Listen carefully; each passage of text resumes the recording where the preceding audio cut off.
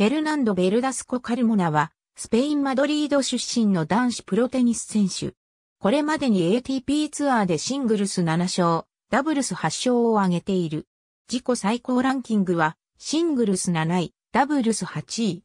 身長188センチメートル、体重88キログラム。左利き、バックハンドストロークは、両手打ち。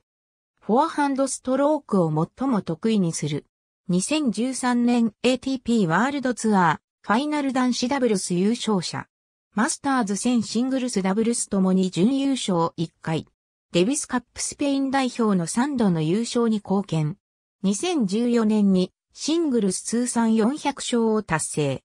ベルダスコは家の裏庭にある2面のハードコートで4歳の時から父親と共にテニスを始めた。彼の両親はマドリード市内でレストランを経営している。2001年に18歳でプロ入り。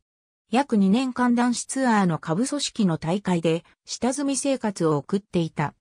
2003年ウィンブルドン選手権で4大大会にデビューした。ウィンブルドンでは1回戦でヤルコニエミネンに敗れたが、同年の全米オープンでパラドーム、スリッチャパンとの3回戦に進出する。2004年、ベルダスコは4月のバレンシアオープンでシングルス初優勝を挙げ、半年後の10月にストックホルムオープンで、フェリシアーノ・ロペスとペアを組んで、ダブルス初優勝を遂げた。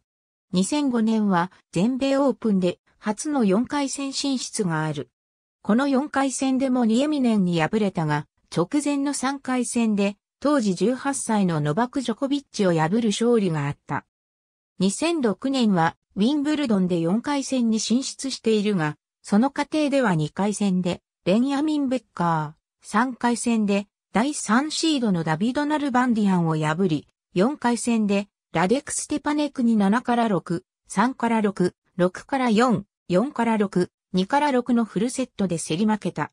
2007年にはベルダスコは全仏オープンで初の4回戦進出を決める。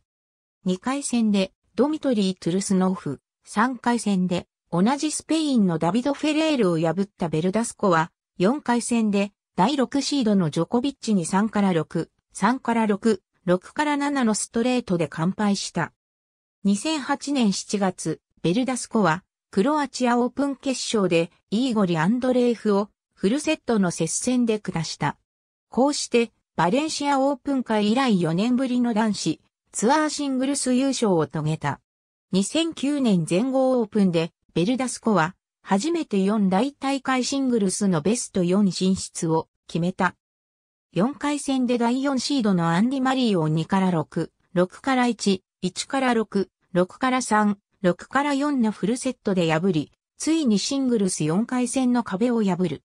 準々決勝では、前年度準優勝者の第5シード、ジョー・ウィルフリード・ツォンガを7から6、3から6、6から3、6から2で破り、初進出の準決勝で第1シードのラファエル・ナダルと長い激闘を繰り広げたが7から6、4から6、6から7、7から6、4から6で敗れた。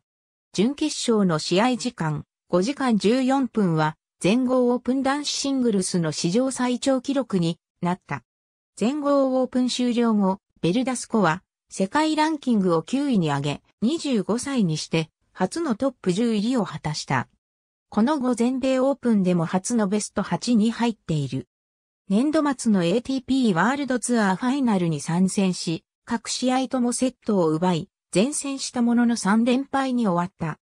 2010年も好調を維持し続け、SAP オープンでアンディロディックに3から6、6から4、6から4で勝利、モンテカルロマスターズで、マスターズ戦で初めて決勝に進出し、ラファエル・ナダルに敗れるも、準優勝、バルセロナオープンでも、前年度全仏オープン準優勝者、ロビン・セーデリングを6から3、4から6、6から3で破って2勝を挙げている。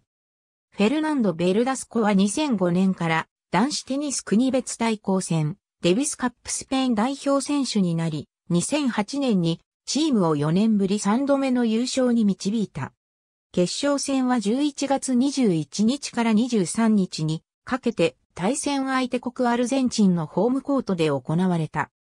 ベルダスコは、ロペスと組んだダブルス第3試合に勝った後、シングルス第4試合で、ホセアカスソー6の3、6から7、4から6、6から3、6から1で破り、自らの手で優勝を決めた。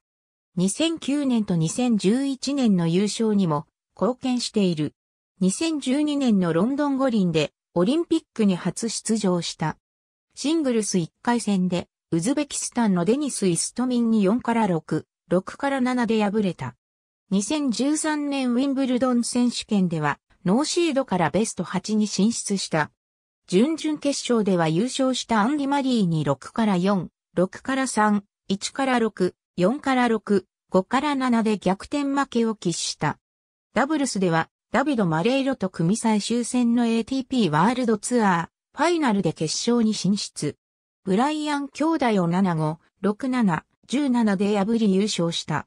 2014年8月25日全米オープン1回戦でシングルス通算400勝達成。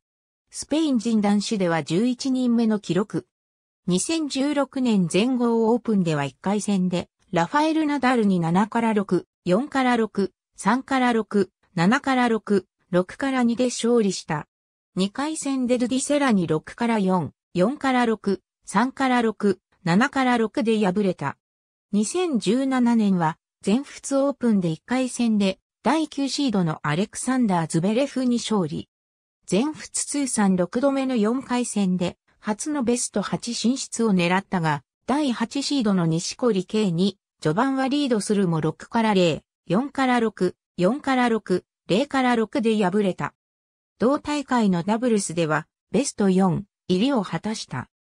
W イコール優勝、F イコール準優勝、SF イコールベスト4、QF イコールベスト8、R イコール回戦敗退、RR イコールラウン敗退、Q イコール予選回戦敗退、LQ イコール予選敗退、A イコール大会不参加、P イコール開催延期。WG イコールデビス、Z イコールデビス地域ゾーン、PO イコールデビス、G イコールオリンピック金メダル、S イコールオリンピック銀メダル、SF、B イコールオリンピック銅メダル、NMS イコールマスターズシリーズから降格、NH イコール開催なし。ありがとうございます。